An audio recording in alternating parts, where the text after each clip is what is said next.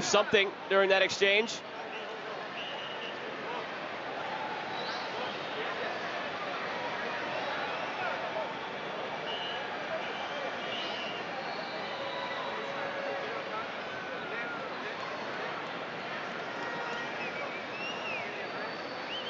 Here's they're looking at the initial challenge from Solvay, as well as the aftermath with players and staff members entering the fray.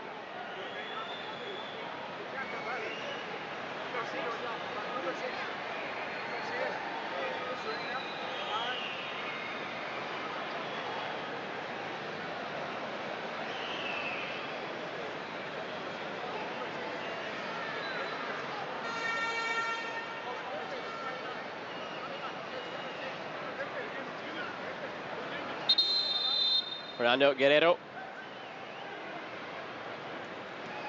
be brandishing some yellows. Now a red.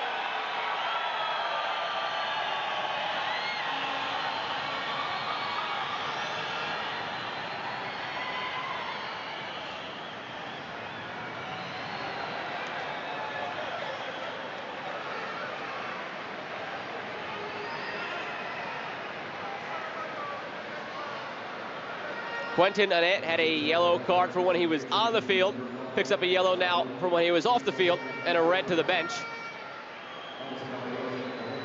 Yellow to Ryan Koolwijk of Suriname.